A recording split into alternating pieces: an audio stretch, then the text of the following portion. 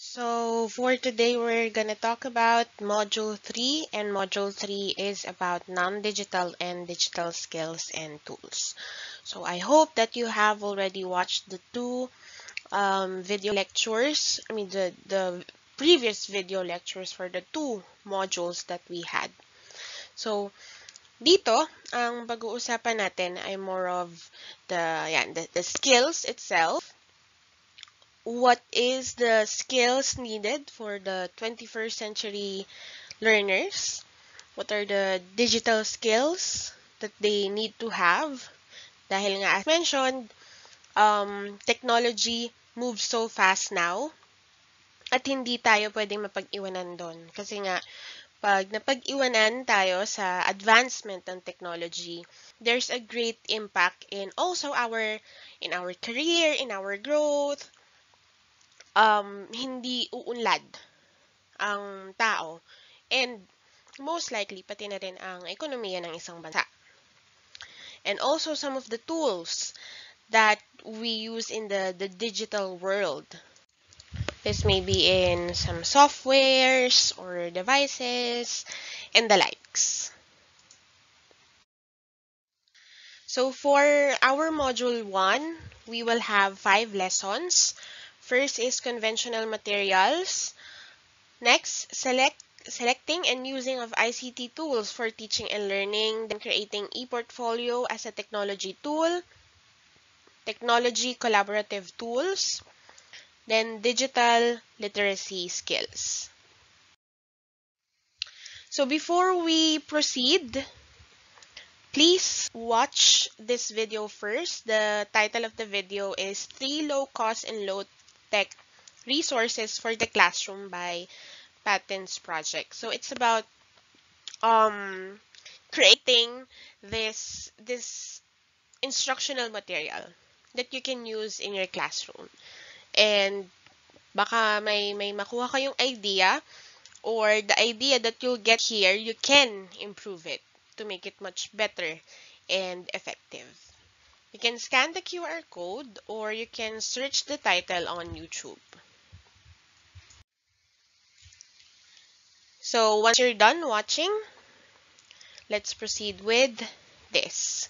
So lesson one, it's about conventional materials. When we say conventional material, so ito yung mga ginagamit natin in the past.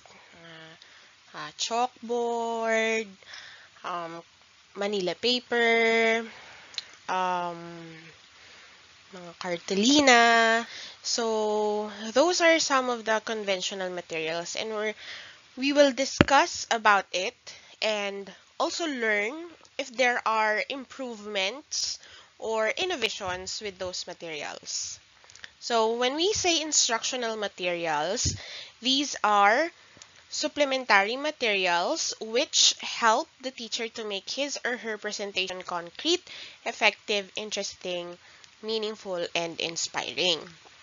So, for instance, PowerPoint presentation or your I, I remember when I was in, in college, pinapagawa kami ng mga instructional materials made of um, cartolina, ayan, Manila paper, um, those kinds of, of instructional materials because mas mas mabilis at mas madaling mag-explain if there is an aid, there is um, a material wherein we can present it in front of the class.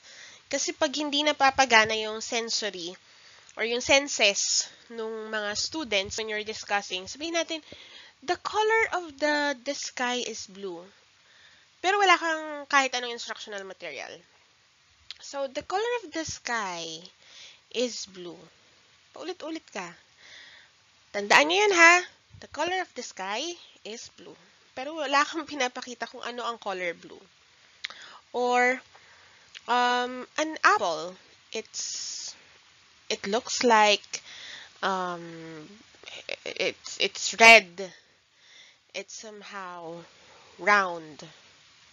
So, ang, ang hirap mag-explain at ang hirap mapagana yung, yung isip ng mga bata if they don't see, touch or sense something.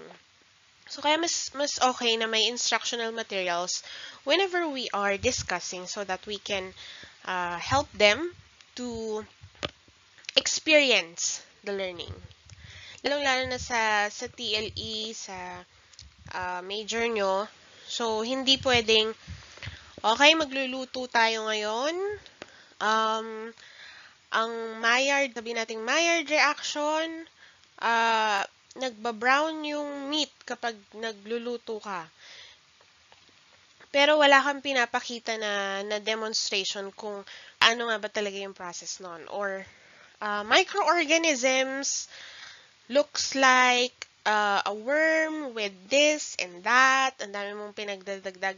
Pero, yun nga, wala kang presentation. So, ang hirap, ang hirap isipin kung ano ba talagang itsura nun. Baka mamaya nakita na niya pala yon in person, pero akala niya it's just, you know, something else. So, sayang yung learning if um, there's no instructional materials. But, take note of this. Look at the second uh, item here. So, instructional materials are those items that assist the information aspect of teaching, not teaching holistically. So, it means instructional materials just aid us, but not not teaching holistically. Hindi pwedeng yung lahat ng aspect ng pagtuturo eh ando na nakapaloob sa instructional material na parang wala na tayo, pwede na tayong uh, mawala sa classroom kasi si instruction instructional materials ay um it's it's a one whole big uh, teaching machine So, again, this is just our um, assistance in delivering the information so that the the learning experience will be much better. Kasi nga, we provide, or the instructional materials provide sensory experience. So here are some of the instructional materials, some examples. We have lectures, talks, uh, writings, yan. For the digital media, meron na tayong videos, photos, presentations, open resources, yan, may blogs, may vlogs na din. Open source journals, public database, and so on.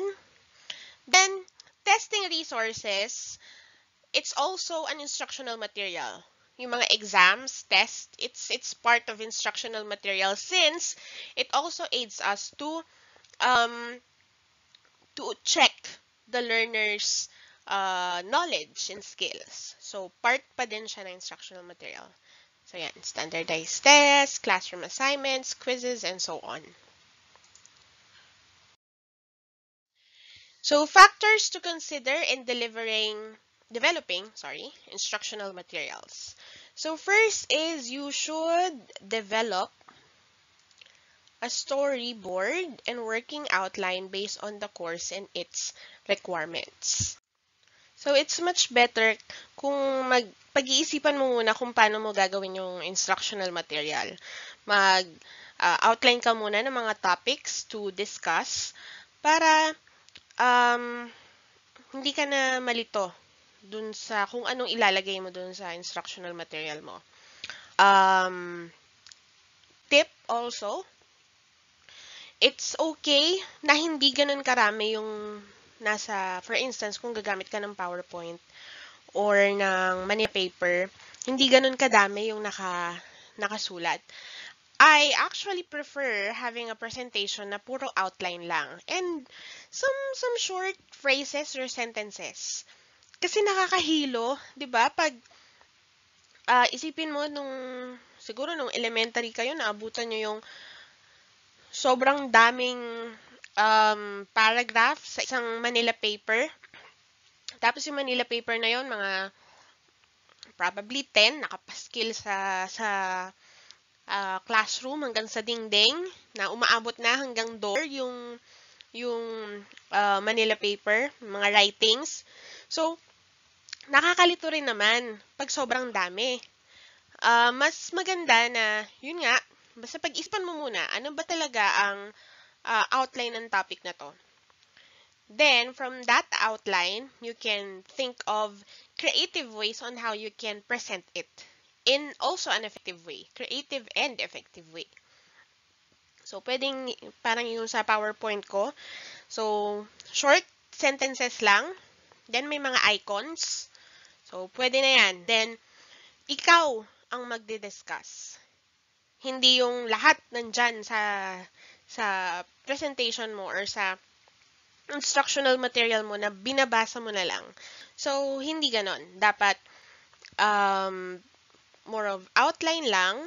Kumaga, assistant mo lang to, yung mga instructional material. Then, as a teacher, we do the discussion. We, we do the uh, active participation with the students. So again, you should de develop a storyboard first and an outline based on the course. So, kung ang subject ay, let's say, um, cooking, let's start with basics. Uh, food hygiene, sanitation, methods of cooking. So, list, uh, list everything down, make an outline. Pwedeng yung outline lang, lagyan mo na lang ng pictures ng short phrases so that you'll be guided or definition, short definition lang. At yun yung magiging cue mo na, ah, okay, nakita ko na tong meaning na to, it means, eto yon So, tsaka mo i-elaborate. Elaborate it not just with you discussing, but also with, excuse me, again, asking your class, your, your students, with or about the topic. So, from that, mapapalawak yung discussion. Hindi lang tayong mga teachers ang uh, pinanggagalingan ng learning. So, pati rin sila. Next is identify existing institutional resources. So, baka sa school nyo, may mga resources dyan na pwede nyong gamitin. Baka may mga uh, tarpaulin na pwedeng gawing instructional material that is very helpful with the with the subject. Pwedeng um, there might be laboratories where you can conduct the the uh, discussion or the practicals. So identify if there are some resources or facilities like that para nga mas effective yung uh, pagde-deliver ng isang course or subject. And research off-the-shelf materials that have been developed by others. When we say off-the-shelf materials, um, unique or parang, uy, kakaiba to ah. Yung, yung mga ganong uh, pakulo nung, nung ibang probably teachers. So, may mga ginagawa silang mga materials na it's it's very fun to use in class. Uh, for instance, I saw this PowerPoint presentation online. If you're familiar with macros, kasi may ma may macros, macros usually ginagamit yan sa sa Excel. But from when I searched that, when I found out that uh, PowerPoint presentation, pwede pala siya sa uh, sa, ayun nga sa PowerPoint, yung macros. So, snakes and ladders dun sa uh, PowerPoint presentation. So, pwede ka maglaro ng, ng snakes and ladders dun sa PowerPoint presentation na yun. And it's really fun and engaging. And I always use that in my class. Lalo na sa mga high school because they, they like to play. So, pwede ka mag-roll ng dice. Tapos, um, may mga scores doon na pwede mong i-input. So it's it's very fun instructional material that I I use in my class and it's it's very effective. Actually, games are are effective. So, yun, you you can incorporate those things. So just just research or probably make your own. My my classmate in college, gumawa siya ng instructional material made from cartolina um, nag, nagagalaw yung mga icons. Parang gumawa siya ng game from from that simple cartolina na namu-move yung mga yung mga icons and stuff. So it's it's very engaging and also fun to to look at if the presentation are very interactive. Okay, next. So we have explore the possibility of adapting concepts of other teachers. So it's fine to uh, adapt with other concepts, but just take note, acknowledge also, cite the the person involved in that um, instructional material, give the the due credit to them.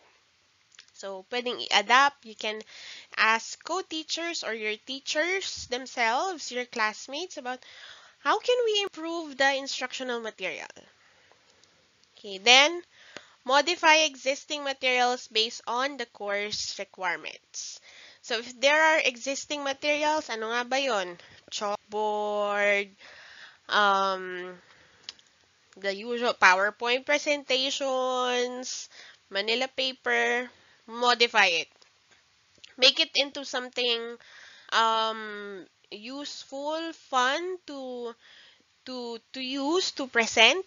Kasi with with that, there are times na kahit hindi interested yung students with the subject, but with the instructional material, somehow nagiging engaging sila. Tried and tested.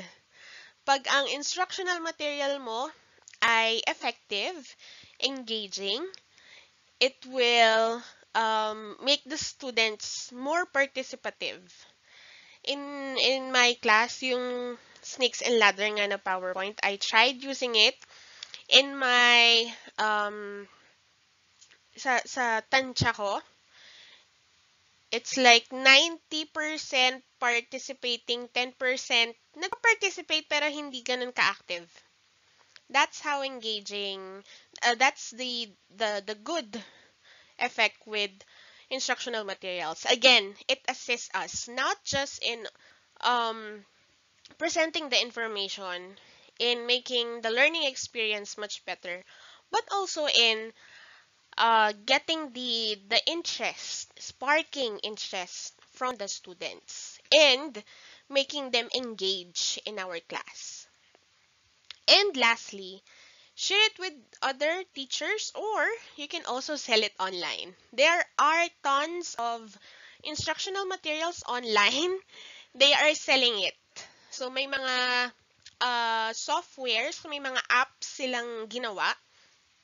Tapos pwede mong bilhin so that you can use it for your own class. So ayan, pwede mong i-share or kung gusto mong kumita, pwede mo rin namang uh, ibenta some examples of instructional materials, the conventional ones. So, first is diorama. So, ayan ang itsura ng diorama. So, from our uh, module, dioramas are small scenes created of layers of materials all depicting a similar concept or theme. So, usually ginagamit sila um, about historical events like this one. So, parang, parang may shipwreck dito. It can also be used for, yan, for science uh, projects, usually in uh, showing layers of the earth or um, the ocean, yung mga layers then. So, this is a good activity for those kind of topics. Pwede rin ito. Parang miniature um, miniature model of a restaurant or of a classroom or of, of a place. So, this is a very effective, very fun way, pero hindi lahat ng subject ay applicable ang diorama.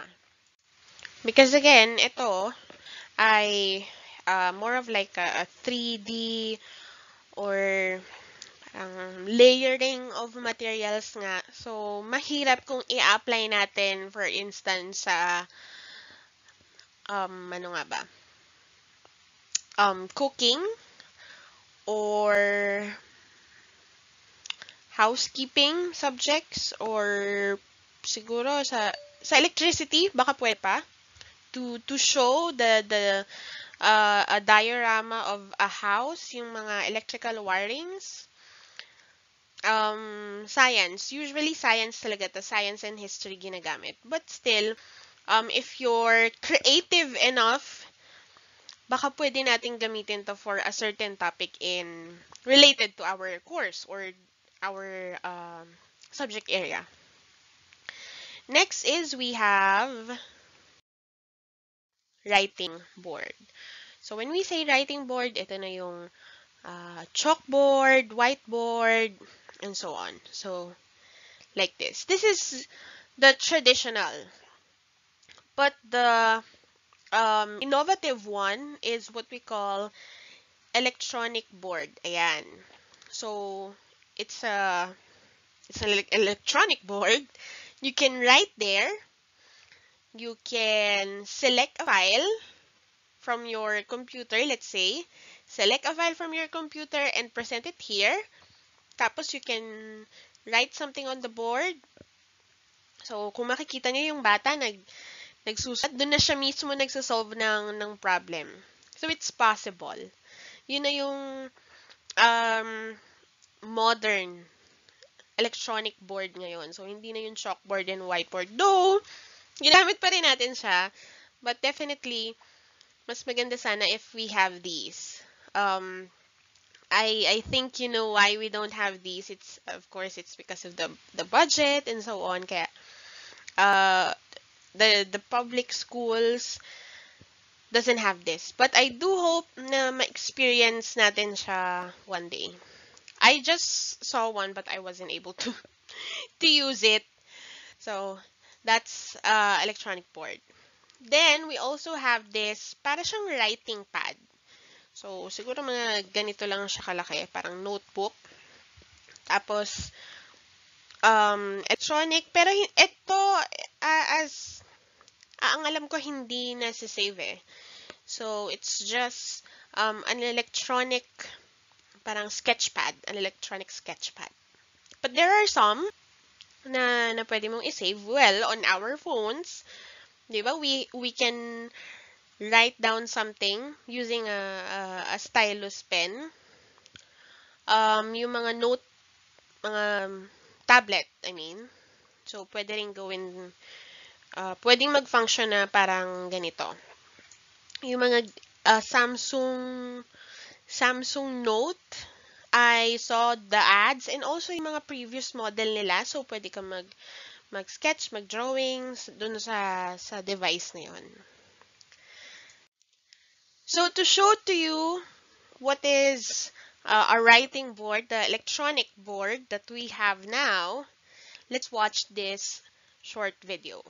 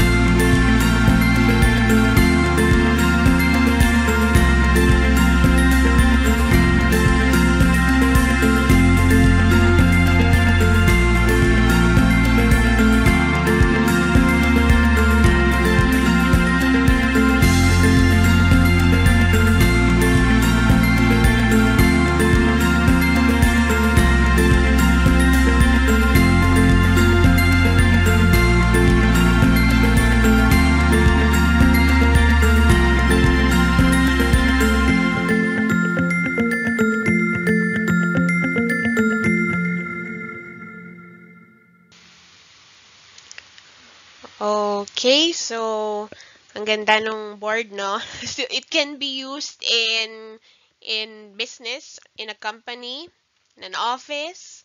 You can also use it in school. Well, for home, bakit ka naman pa gagamit ng ganito if we can buy the conventional TVs, mga LCD? Mukha siyang TV actually. But again, this, uh, more of the, the functions of this, this board, it's more of for presentation, for for writing, for connecting into onto your uh, laptop para nga ma-present mo yung mga files and so on. So that's the function of this electronic board or the interactive digital board from LG. Next, we have the flip chart. So, ang flip chart, ito yung, uh, dati meron kami nito sa, sa elementary eh. Mga uh, Manila paper na pinagdikit yung, yung taas, yung this part, yan, pinagdikit yung top part, then pwede mo siyang i-flip. Okay, it's, it's a flip chart. Then, dun sa Manila paper na yon uh, maraming mga topics. Kunyari, um, multiplication table or um, letters and examples or something about science. So, more of list siya na pag if you flip it, marami kang makikitang discussion. But, yun nga, dahil may advancement of technology, we have an electronic flip chart. So let's watch this video.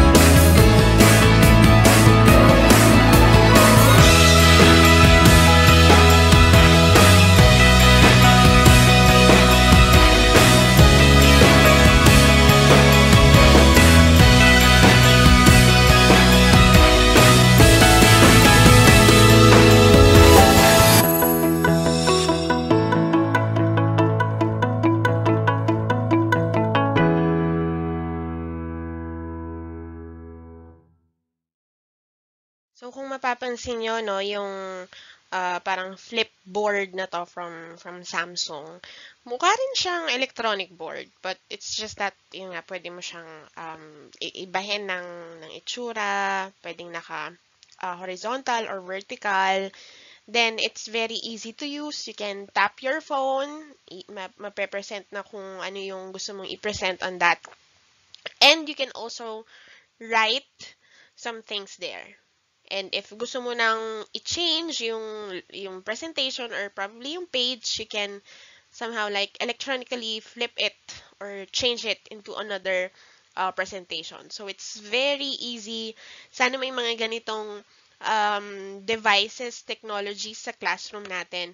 And I, I think yung learning experience na nakukuha natin sa schools ay mas magiging maganda talaga because again, these technologies, it assists us, it helps us. Ang ang hirap kaya mag-explain ng uh, ng isang bagay na through Manila paper lang or through cartolina na magdo-drawing ka pa or magpiprint tas didikit.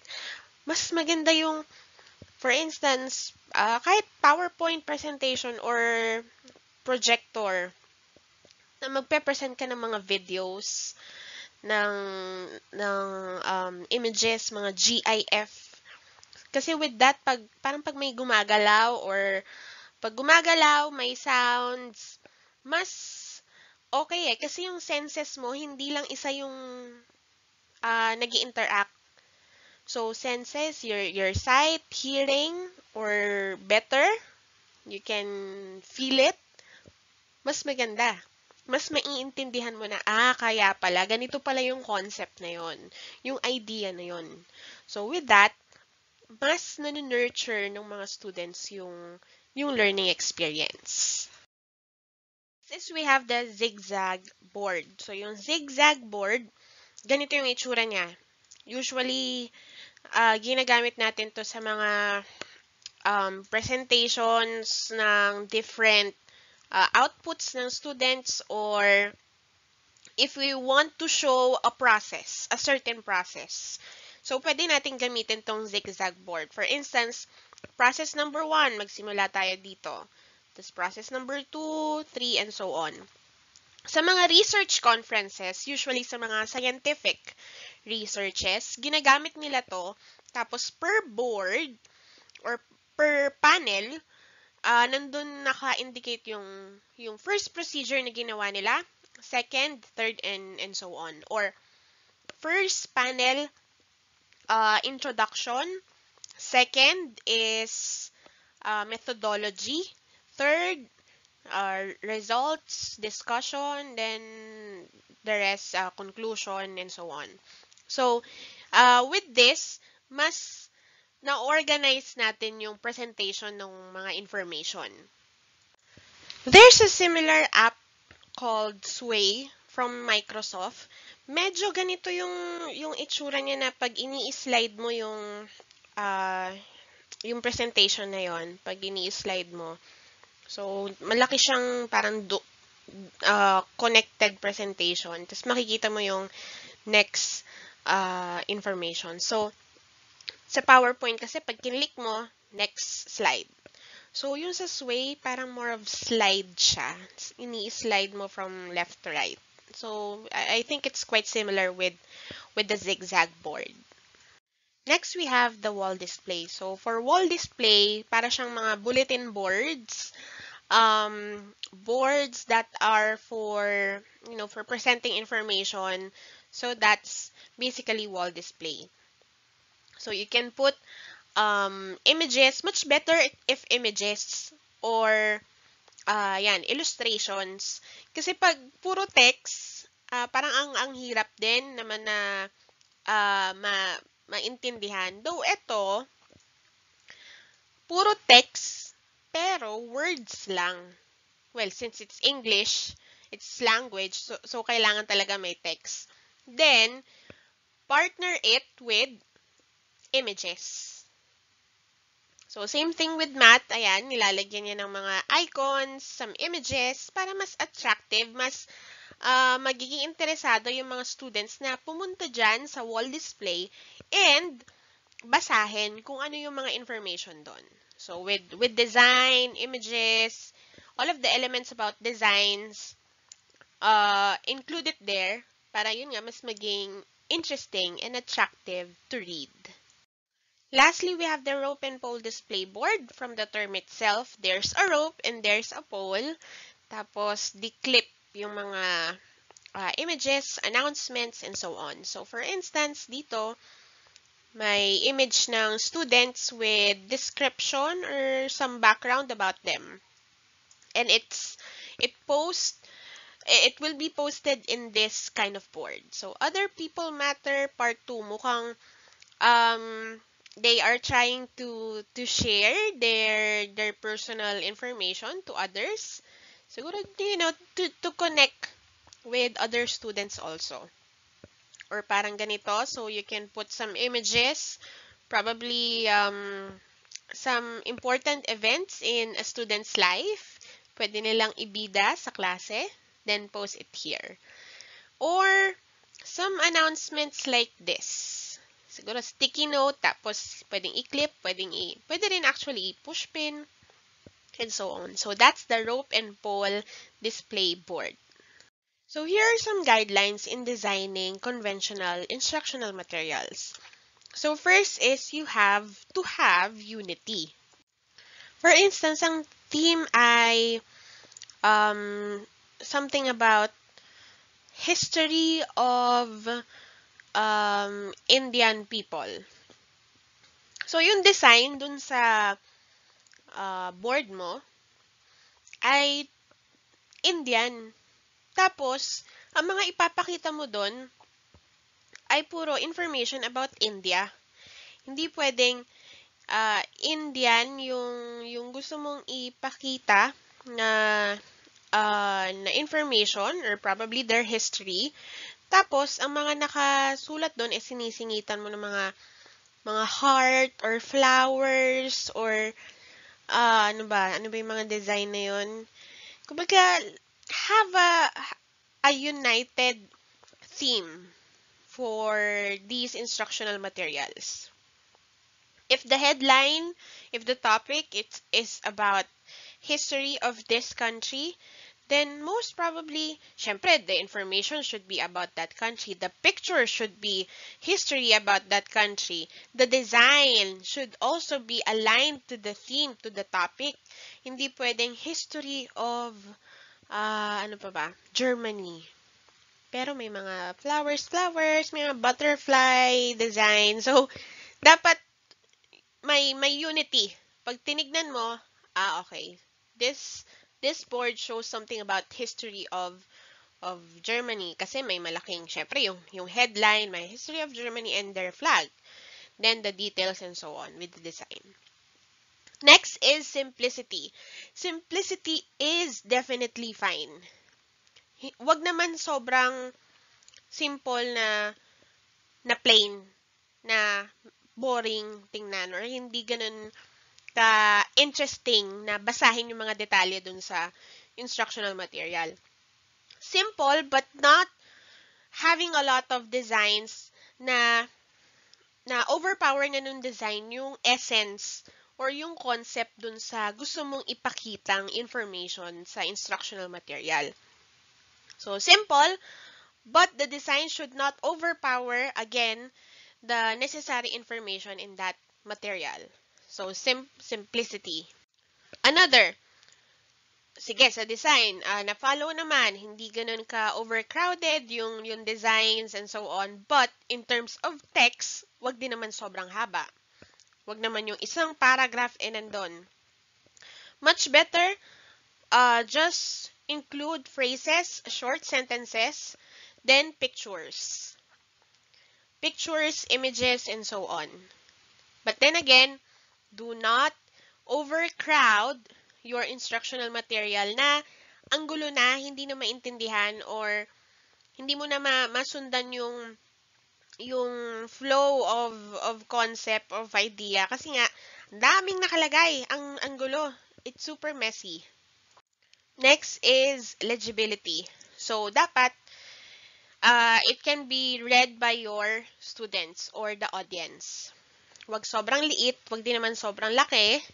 So, yung sakto lang na, na font size. And also the, the font text.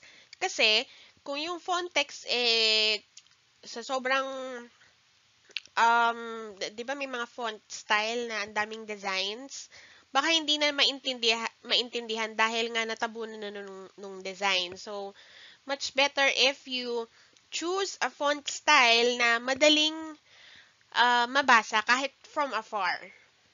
Consistency, say, somehow same with, with Unity.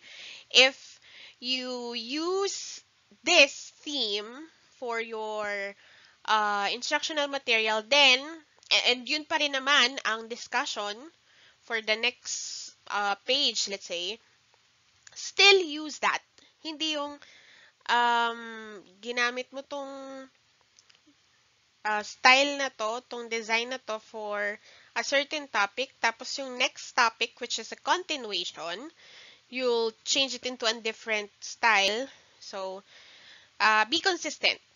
Even with the font, with the uh, the way you present the information, dapat consistent.